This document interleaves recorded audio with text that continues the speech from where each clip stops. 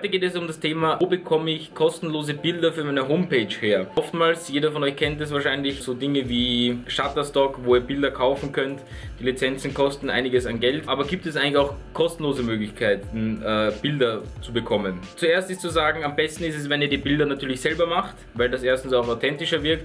Äh, wenn ihr Beispielbilder braucht, beziehungsweise Bilder, die allgemein gehalten sind oder zu einem gewissen Thema, dann könnt ihr zum Beispiel auf pixabay.com heißt die Seite, kostenlose Bilder euch runterladen. Ähm, in sehr guter Qualität. Äh, dort sind, ist eine große Community, die gegenseitig die Fotos austauscht bzw. Die, die Fotos hochladen. Ihr könnt auch dem Fotografen äh, eine, eine kleine Spende hinterlassen. Mein Tipp dazu ist, nehmt, wenn ihr Fotos nehmt, möglichst welche ohne Personen in den Bildern. Wieso ohne Personen? Äh, weil eine Person, wenn sich diese im Bild erkennt und das irgendwie sehen sollte, ist es einfacher für die zu sagen, ich habe nie das Recht dazu gegeben, dass sie mich abfilmen, ja, dann bekommt nämlich ihr das Problem, und der Fotograf kriegt davon nichts mit, beziehungsweise den könnt ihr dann auch nicht belangen.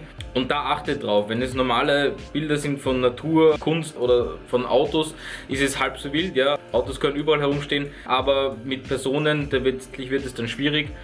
Und eine wichtige Sache dann, wenn ihr eure Bilder auf pixabay.com gefunden habt zum Beispiel oder bei anderen kostenlosen Seiten, die das anbieten, dann schreibt es auch in das Impressum bzw. irgendwo hin, dass diese Bilder von pixabay.com kommen und im optimalen Fall, das ist aber immer so eine Sache, ob man das möchte oder nicht, ich habe das nicht sehr gern, dass man den Bildnachweis unterhalb auch noch einmal in Textform aufschreibt. Sprich, woher kommt das Bild und welche Bildnummer hat das etc. Ja. Grundsätzlich wird euch niemand äh, jetzt abstrafen, wenn ihr das im Impressum stehen habt, ähm, dass diese Bilder von pixabay.com äh, kommen. Im gegebenen Fall hebt euch das Ganze vielleicht noch auf. Ich speichere mir immer die Bilder ab und hinterlege dazu auch den Link, dass wenn jemand äh, nachträglich sagen würde, das Bild darfst du nicht verwenden, sollst du nicht verwenden, dann kann ich sagen, aber auf der Seite habe ich es äh, herbekommen und ich habe mich dann dort an die Nutzungsrichtlinien gehalten und so seid ihr auf jeden Fall einmal sicherer, als wenn ihr einfach irgendwelche Bilder von Google oder sonst wo nehmt.